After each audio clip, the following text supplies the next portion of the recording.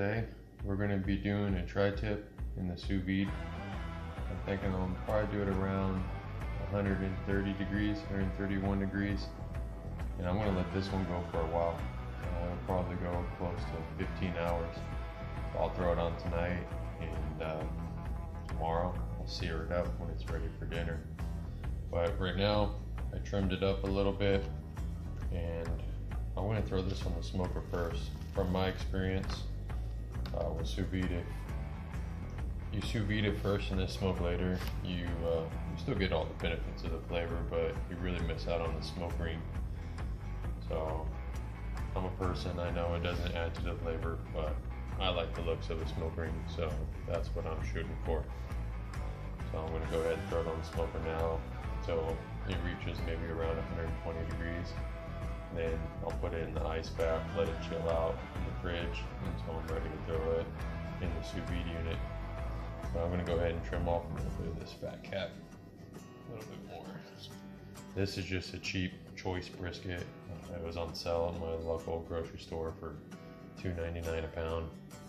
So, you know, it hasn't really been butchered up as far as removing all the fat, which, which is fine. I, I like leaving the fat on it to me it's flavor but some of these pieces are a little, little excess. So we'll go ahead and clean some of this up. And I know, yeah, I should be wearing gloves, but you know, this whole craziness is going on right now. It's extremely hard to find gloves. Extremely hard, so not in the works.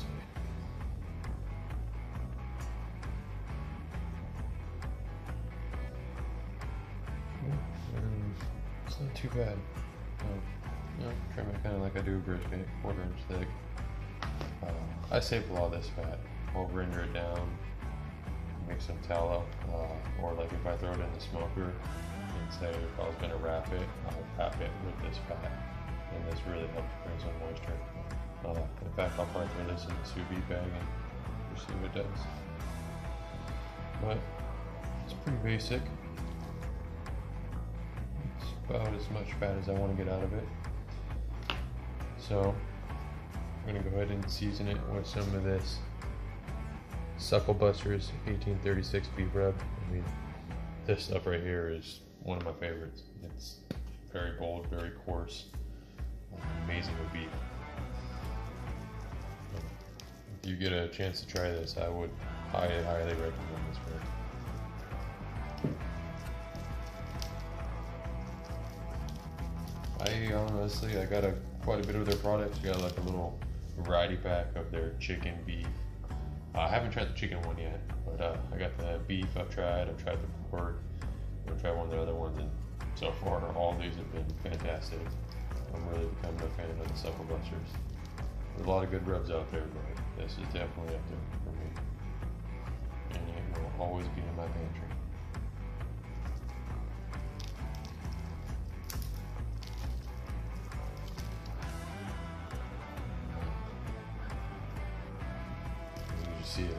Nice Texas salt pepper look to it. You don't want to rub the meat, you just kind of want to pat it in. Don't worry about it too much on the fat cap side. I put it there, but I don't get too technical on it. And from my experience, when you when you hold the rub up a little higher, it works a lot better. It's pretty small.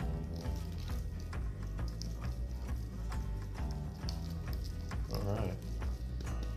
Well, that's, good enough for me right here. Make sure I a little bit. And you know, I, I, don't. I don't. Need a binder or anything like that. It seems it's got plenty of moisture. It's on its own just fine.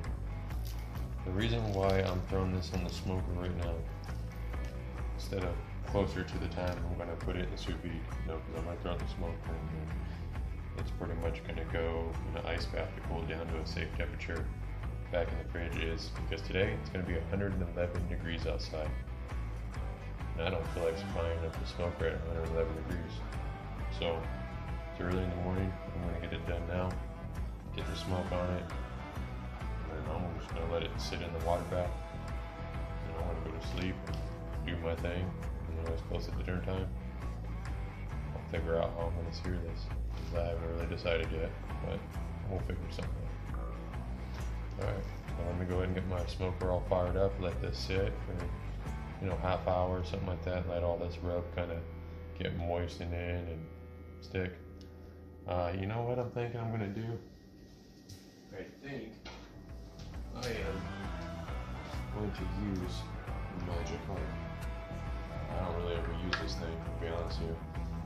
And I'm not using it for a tenderizing effect. I'm actually going to use it to see if I can push some of those spices deeper in the meat.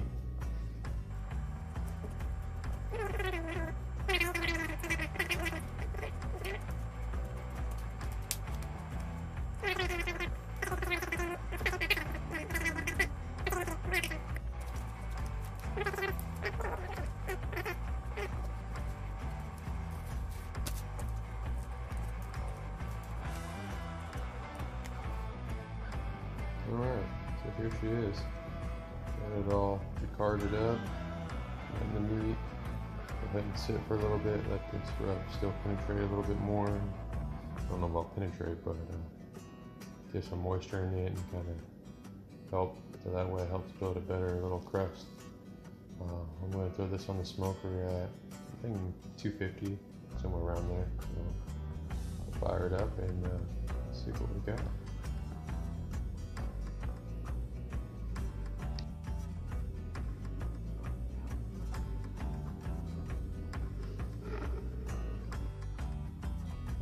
So we have a few options. We have my chimp, and then my newest baby, the Grilla OG. So, let's do the old school. Any, mini, miny, mo. Catch a tiger by its tail. If it follows, let it go. Any, mini, miny, mo. Was hoping so, because I love this baby. So let's go ahead and uh, get some pellets in it fire it up and get this tri-tip going. Today I'm going to be using 100% hickory pellets from cookingpellets.com. These are really, really good pellets, high quality. Can't say enough good things about them. Uh, really good flavor, low ash. I do enjoy them. Uh, I have a couple of their flavors. I have the 100% hickory. I have their black cherry and I have their perfect mix, which is a mix of hickory, apple, maple, I believe I can't remember what the other one. There's some other mix in there. Uh, the only one I haven't got to try, they have an apple mash, and uh, that'd be pretty good on some pork. But this is a good one. Uh, I was able to find a local dealer, so I got a pretty good deal on them. But that's what we'll be putting in the Grilla OG. Got her all filled up. Shut it down, get it plugged in, and fire her up.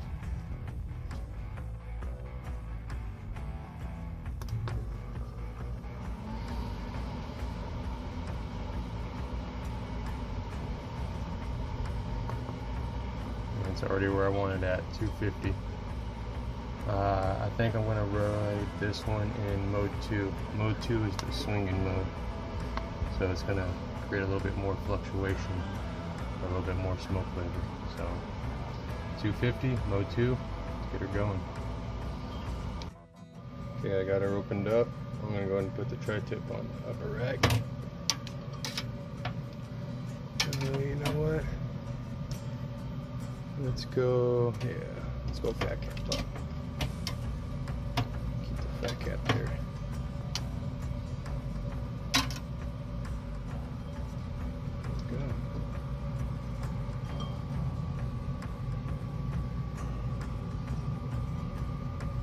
Firing up pretty soon. She'll start smoking and uh,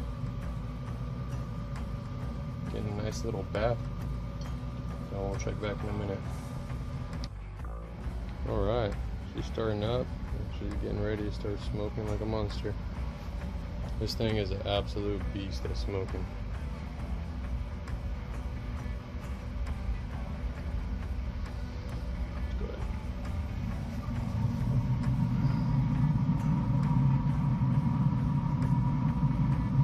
Startup smoke. And uh, so far from my experience, she's been doing this the whole time. Uh, I did a pork butt. This will be my second cook on this new Grilla OG. Uh, but the pork butt, man, she smoked like a champ like this pretty much the whole time.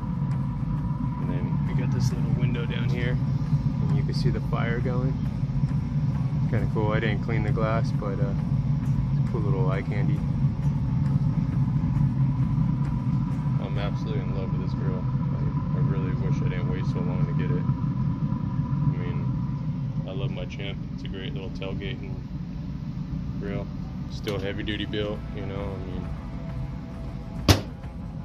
they just got quality products. But yeah, it's gonna be a good little smoke. Let's go ahead and put a thermometer in it. I will be using my Inkbird 4 probe. It's a Wi-Fi one. Love this grill. This uh, thermometer, it actually is extremely accurate, and if it wasn't, I could calibrate it. But it's been pretty reliable. So I, I use it. It's probably my go-to one. Thicker area right here.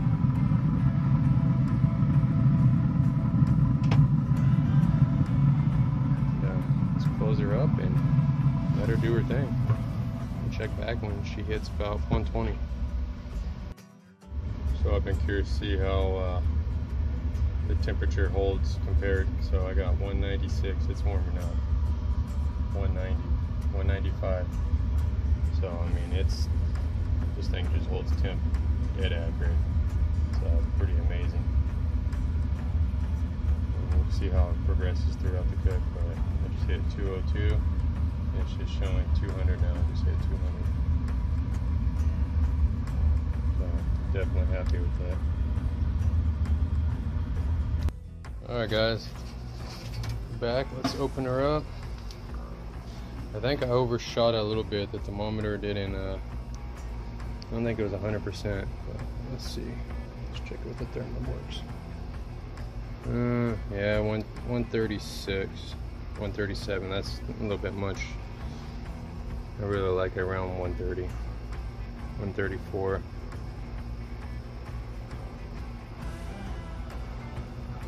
Yeah, I overshot a little bit. Highest is 138, 139. Well, it is what it is, right? But yeah, I like my stuff uh, on the lighter side of medium rare. But let's go ahead and uh, let's pull her off, man. Not looking too bad. Nice little mahogany color. So I'll go ahead and get her rested up a little bit, throw her in an ice bath and then we'll uh, get her in that sous vide.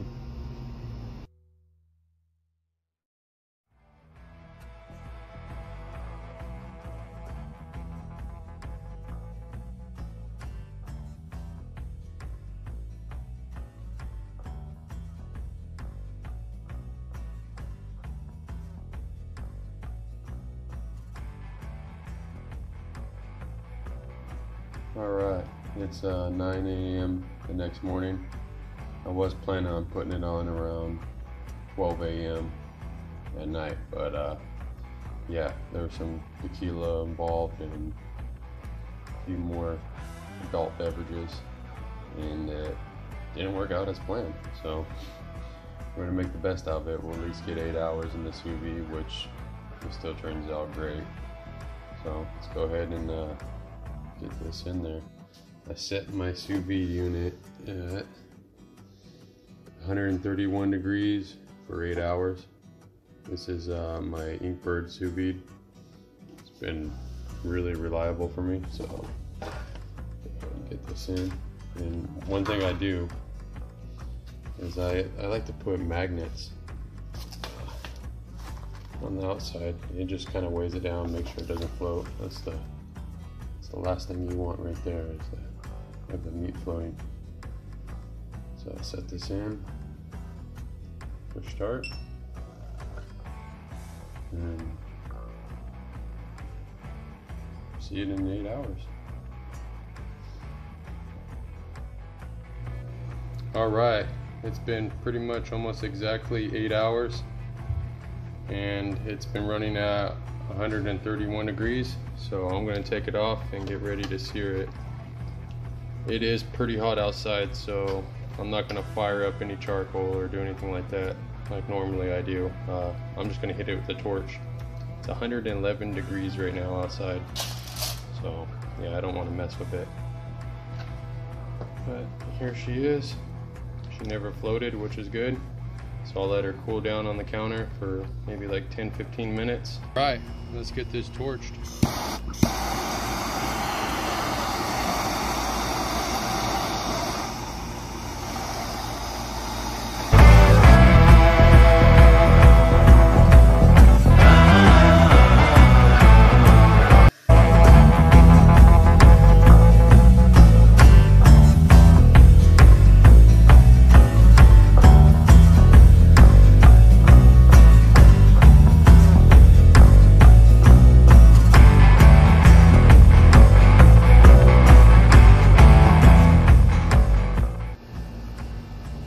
All right guys excuse me for the noise. It's all the air conditioners going.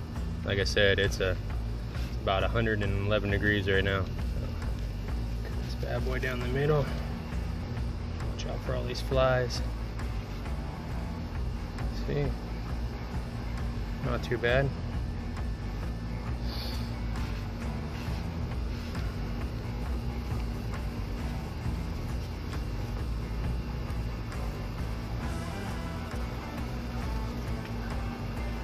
couple of slices and I'm heading inside the house because flies are gonna get crazy. Well, there you go. Sous vide tri-tip, eight hours, 131. Uh, it will blossom a little bit more too once it hits oxygen and get a little redder, but that's pretty much, there she is. Hope you guys enjoyed this video. Please like and subscribe.